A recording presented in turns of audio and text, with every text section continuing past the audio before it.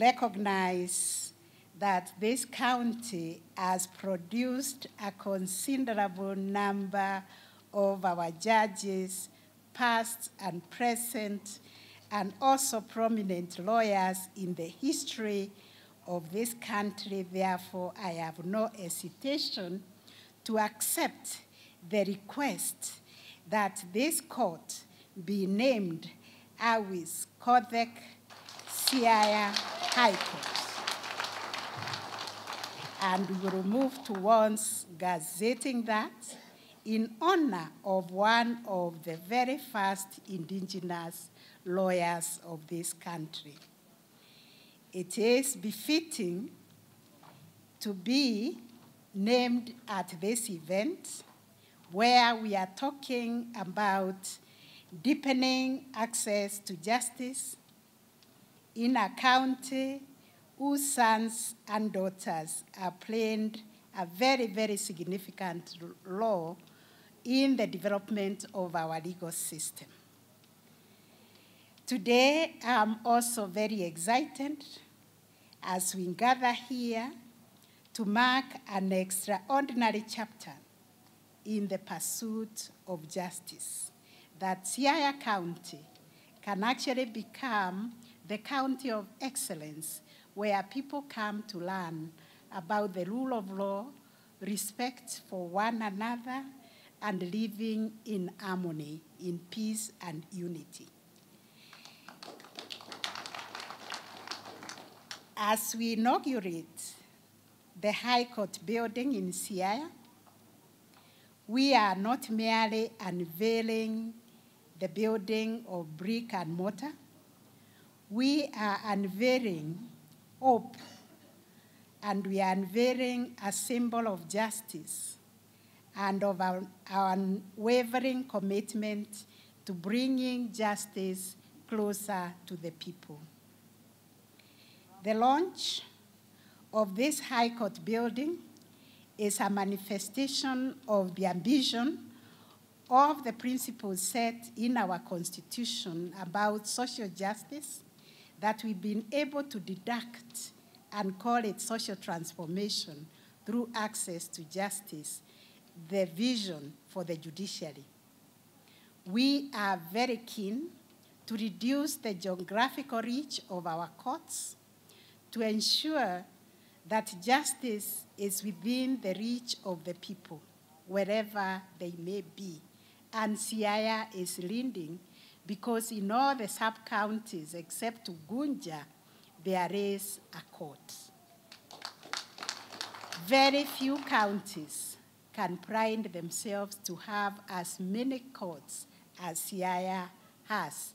But this is because Siaya also has the most lawyers and most judges. Therefore, even Ugunja, we should work towards establishing a court once we complete the construction of, is it Yala?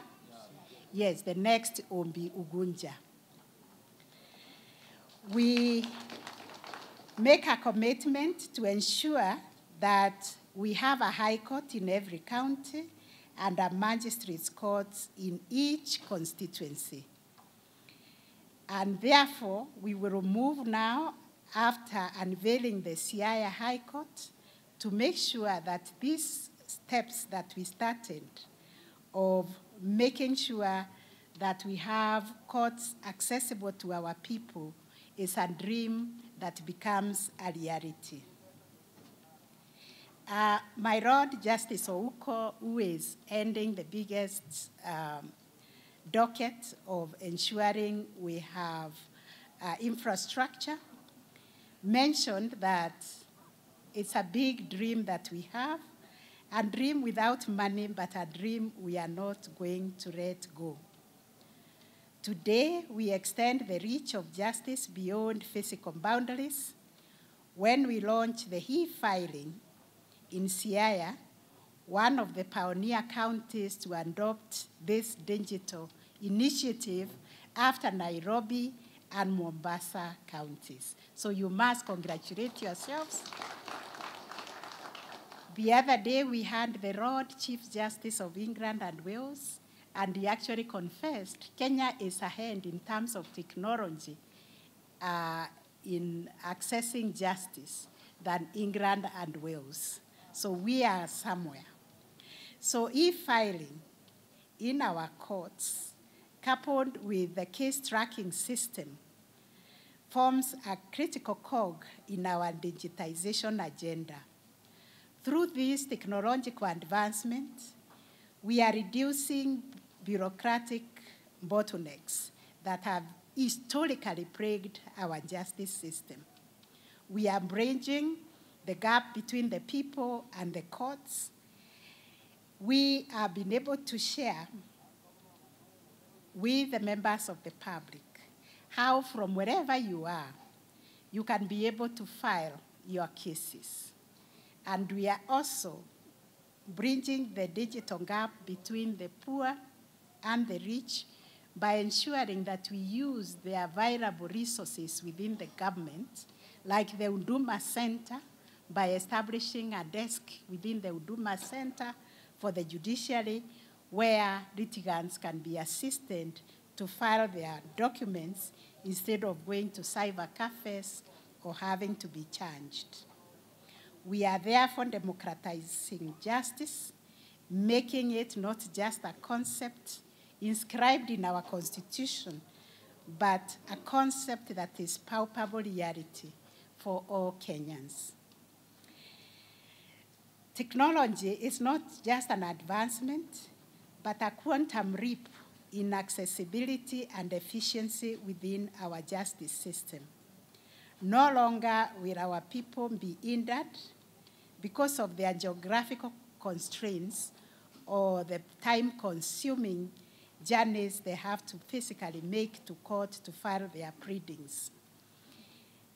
My learned colleagues will agree now you do not have to travel all the way to court. You can log in and attend a virtual court in Kisumu, in Mombasa, wherever you are. The process will now be able to enable us reduce also the human interaction, thereby bringing efficiency. E-filing is also an assurance that the pillars of justice stand tall because we can be able to trace when the case was filed, what action has been taken, how long it has been in court, in addition to helping us know the number of cases that are in court. It uh, must also be tailored to meet the unique needs of different members of our society, especially the most vulnerable. Today, we make a significant stride in addressing one of our most daunting challenges by launching the sexual and gender-based violence.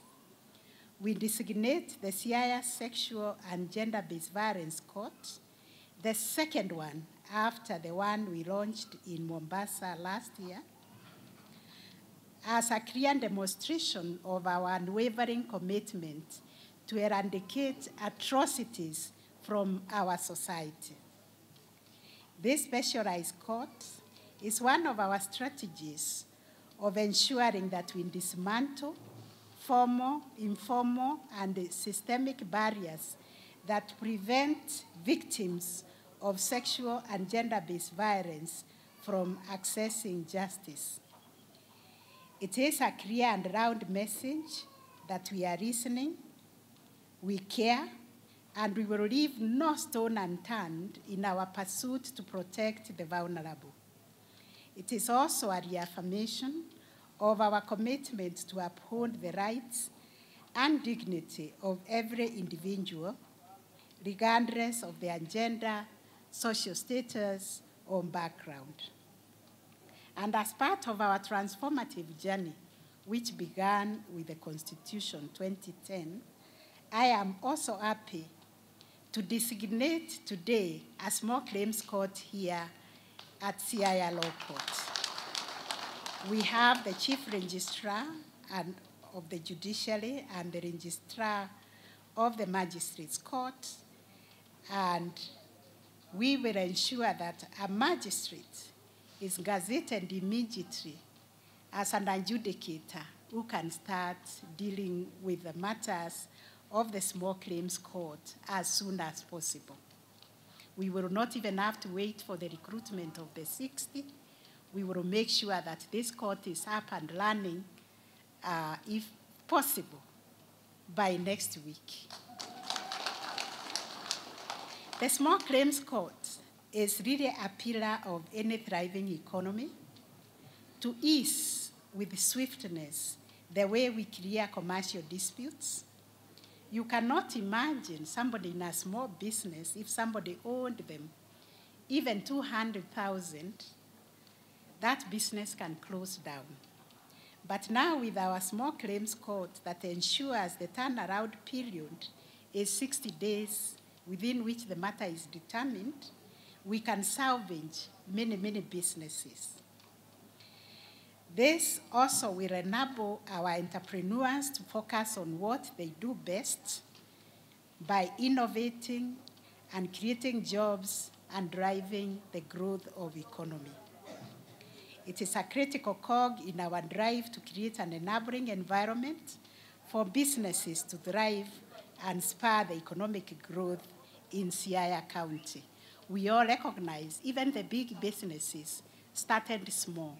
And if there are any legal impediments that stopped them from growing, they couldn't grow. So this is why this court is absolutely timely in this Siaya County, which is the county of the future. The journey we embark on today is transformative and we are so happy to partner with this, our distinguished governor, who is always working towards the transformation of the society. A key advocate and architect of the Constitution 2010. I think Siaya County is so lucky to have the Honorable James Orengo as your, as your governor. The judiciary will partner with uh, Siaya County to make sure that we render justice that is responsive, that is accessible, and that is people centered. In other words, we ask ourselves, are we serving you? And this is why we value the partnership with the Court Users Committee and all other agencies that we work with including our development partners. Thank you very much, IDLO, the Kingdom of Netherlands, and all the other donors who have supported us, including the civil society.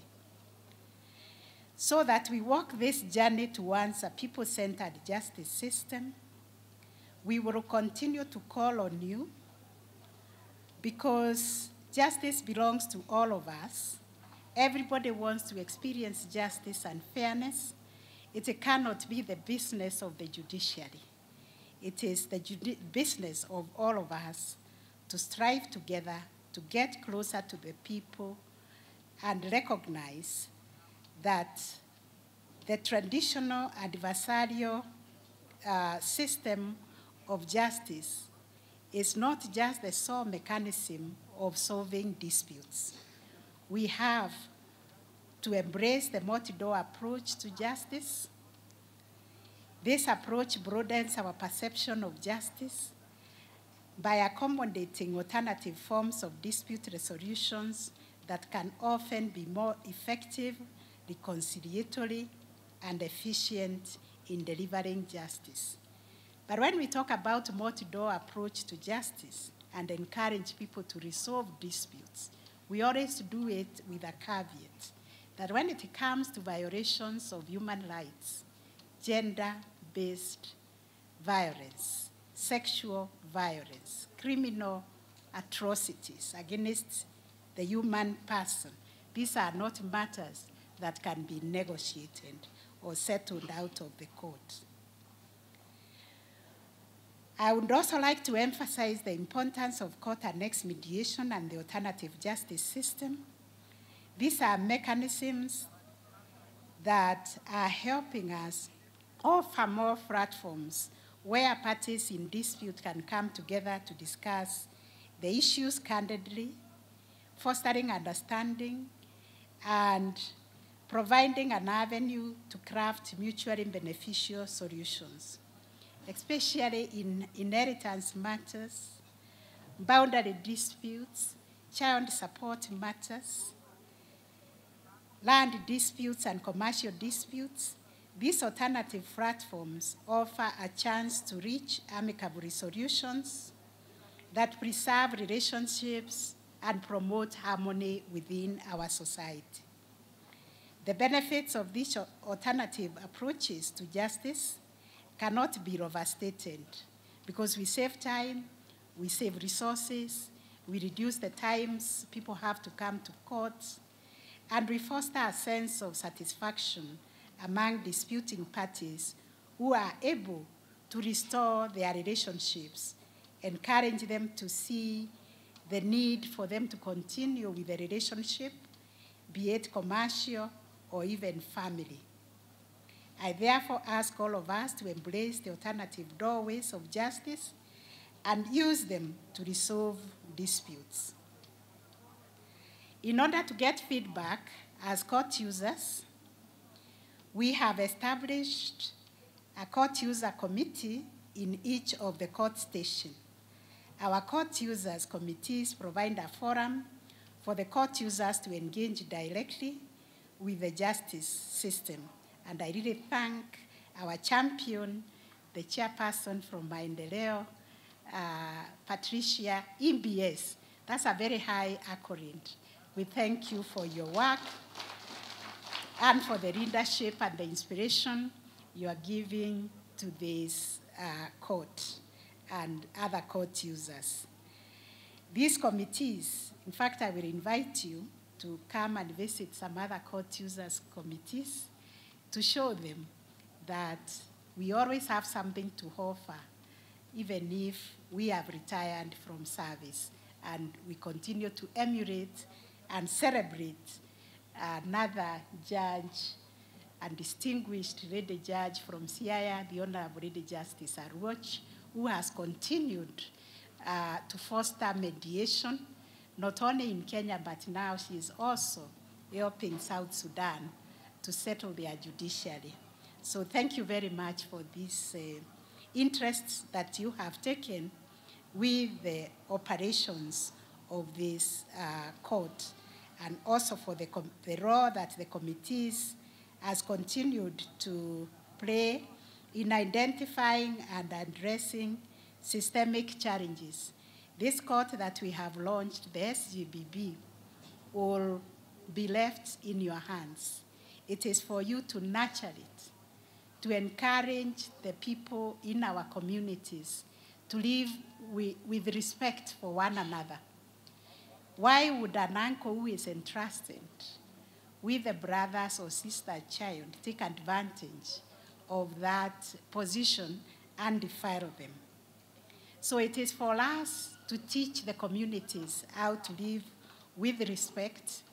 Today, we are experiencing very high numbers of SGBV cases in Siaya, but I can assure you, if we all worked together and discourage these cases from happening, we will close that court and make it a small claims court because there will be no cases.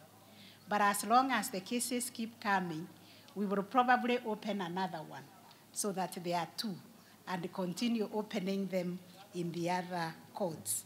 But the burden and responsibility is on us to stop this vice, and I believe we can do it if we make a commitment. I encourage all of us to uh, leverage on these platforms that we have of uh, ensuring that we vibrantly participate in our local CUC and that you provide us with um, issues and insights and share concerns and really contribute to shaping the justice system because this court belongs to us. To conclude, we are making strides and we have made significant progress. Our goal is to put in place a judiciary that is truly your own, a judiciary that reasons, a judiciary that cares, a judiciary that serves, a judiciary that is not an obstacle but a facilitator. Together, I believe we can, because we have reached this far, because of the support, the commitment, and the work each one of you has put towards us getting where we are. Together, we can. Therefore, let us join hands to create a justice system that is an embodiment of our national values and aspirations. We are also keen on collaborating with the county government, like I have said, and all our partners in our quest to increase the judiciary's footprints and make Siaya, and indeed the entire country, a country that is governed by the rule of law. Thank you, Governor, for reminding us. It is our duty to always guard the independence of the judiciary. And remember that it did not just happen. People fought for it, people fought, lost their lives, and we should never, never lose those gains that have been earned through the loss of life, limb, and property. So we will continue working together. We will, where we do not have land to build courts or the infrastructure, we are asking the county to allocate us land.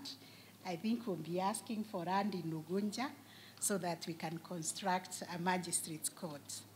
And this is due to the reality that we serve the people and we ought to partner with the county government to get the public services, including the judicial services, get to the people.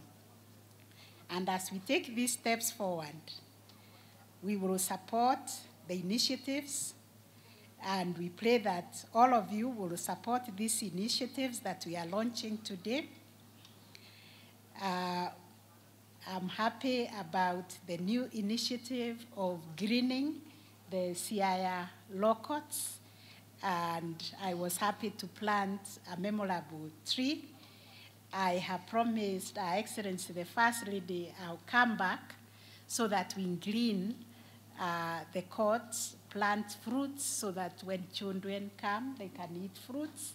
So I will come again for a tree planting uh, ceremony, and because I want to be part and parcel of greening uh, County and increasing the forest cover of Siaya County.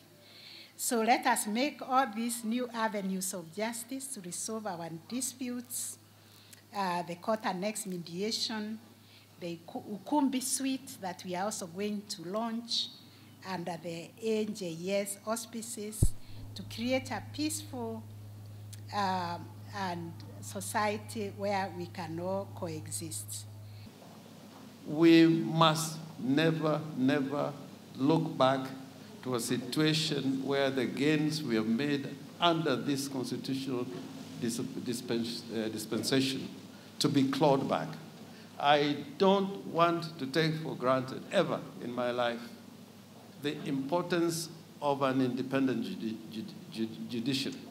And I've lived to it to see the difference between an independent judiciary uh, and judici uh, an executive controlled judiciary. So, in your able hands, and uh, those of your colleagues in the judiciary, whether you make decisions that we like or we don't like, the most important thing is we should never, never, never lose that battle again where we have to fight for a free and independent judici judiciary because it cost a lot of lives. Uh, a lot of people suffered for it. And if we fail as a nation not to have a free and independent judiciary, all else will be impossible to achieve. Peace and working institutions and, and, and that I know uh, we will strive as Kenyans to, to make sure that we continue uh, to protect the judiciary and make sure that the only power, the only power over the judiciary is the people of Kenya. They are the ones who are sovereign and de delegated the judicial authority uh, to the ju judiciary.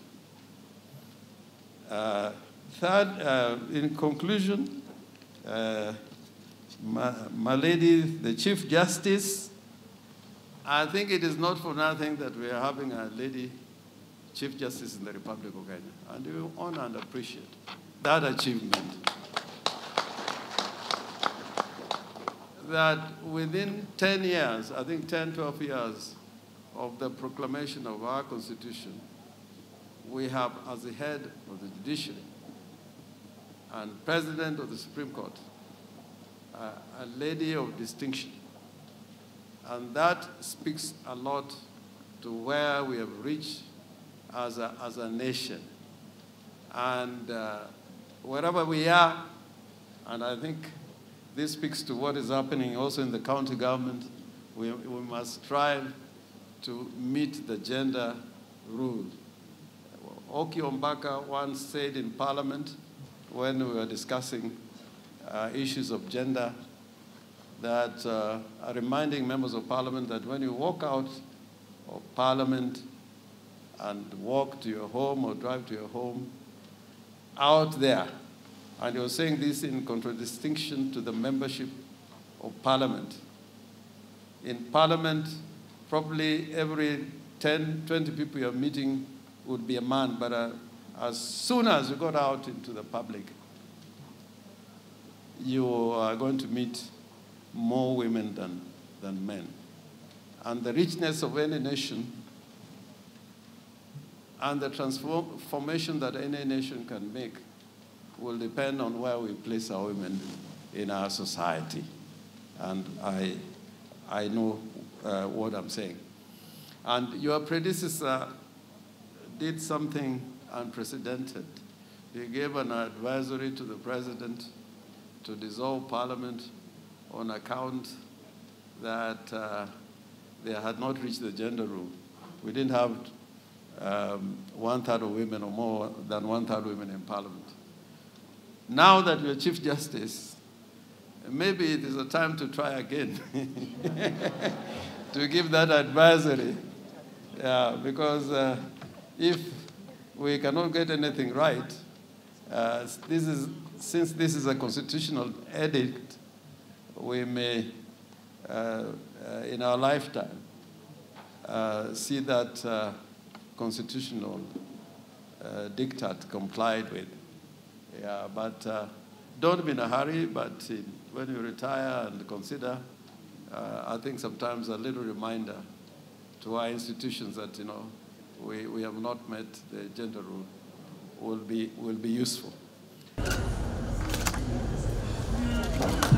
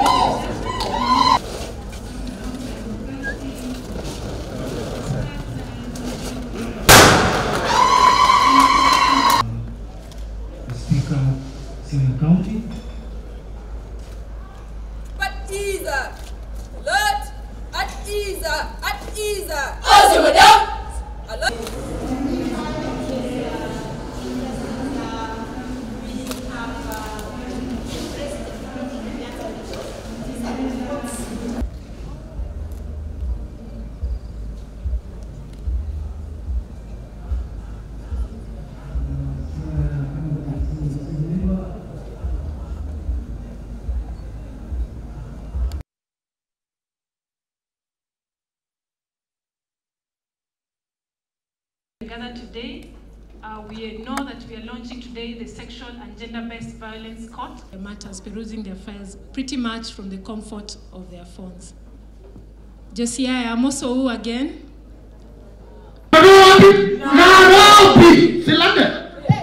just to open this school. And then your mother tunasema forward with justice forward. Forward. Forward with women rights forward. Forward. Uh, Your Lordship, uh, Chief Justice, Governor Siaya, all distinguished guests. Thank you very much, Osia J. The next segment of the program We are delighted to join you in this auspicious occasion just to celebrate If you think I'm joking, Eh. take this 20,000. Eh, eh, eh, eh, Yeah. eh, asante. Eh. Na mtoto wangu. Mtoto wako, Eh. I'm going to take her to a boarding school. Eh. Sasa yes, eh, thank you. Now, here there, my office. Eh, super, super. Nowadays you are growing. I've bought something here for you. Super, take this one. That is, Asante. that is for the growth. Asante. And super, I have something for you here, super.